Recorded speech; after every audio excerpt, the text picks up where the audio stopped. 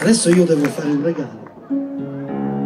C'è un pezzo nel mio ultimo CD. Mi sembra che c'era un, un signore che si chiamava Mario Vitale, no? Cioè, prima me l'ha fatta preparare e ora ci sta. Doveva regalare, doveva dedicare questa canzone alla moglie.